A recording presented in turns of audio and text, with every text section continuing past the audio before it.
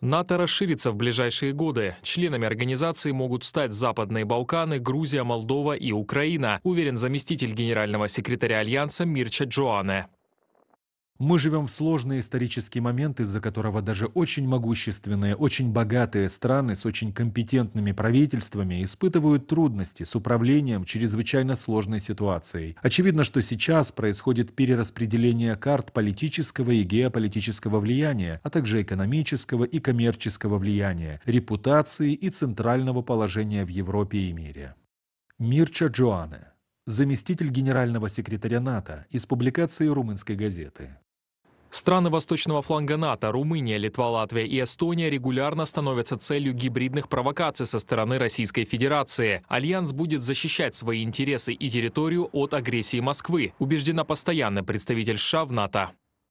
В результате этой неспровоцированной агрессивной войны Россия потеряла сотни тысяч своих солдат, огромное количество техники и ценного оборудования. И мы можем спорить о том, смогут ли они восстановить эти силы и воспроизвести их через несколько лет или через десятилетия, но важно то, что Альянс не ждет. У нас есть новые планы, новая стратегия, новая доктрина, чтобы убедиться, что мы можем защитить каждый дюйм территории НАТО. Россия угрожает не только Украине, но и государствам Альянса, считает глава внешнеполитического ведомства Чехии. Он уверен, если Запад прекратит помогать Киеву, то Европейский Союз и НАТО могут оказаться под ударом. Именно поэтому Украина должна получать всю необходимую поддержку в стремлении стать членом ЕС и Альянса. Если посмотреть на российскую стратегию, то она определенно такая. У них есть планы по созданию огромных армий. Так что в этом отношении Украина лишь один эпизод в гораздо более широкой схеме. И в этом контексте любая помощь Украине имеет смысл. Ян Липавский, министр иностранных дел Чехии, в интервью РБК «Украина». Принципиальны вопросы для Киева и для союзников гарантии безопасности для Украины. Их обсуждают министры иностранных дел Европейского Союза в Брюсселе.